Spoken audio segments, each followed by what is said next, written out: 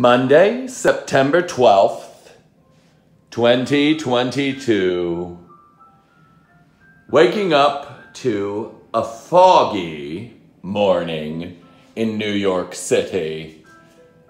It's really very lovely out, but you have to have European, Northern European, German underpinnings and Austrian and the like to appreciate the overcast, somber quality of the buildings disappearing into the clouds. I'm sure that the building I'm in right now, which is 70 stories, appears the same to those that are also distant and hiding their tops in the cloud cover.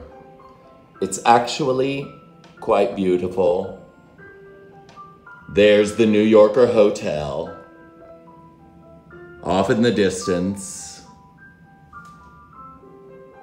And it is a Monday, Commuters on 42nd Street making their way to work.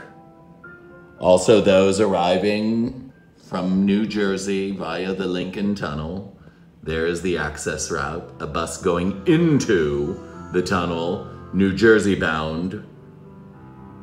This is Monday, September 12th, 2022 from Hell's Kitchen, New York City good morning, happy day, happy life, happy world.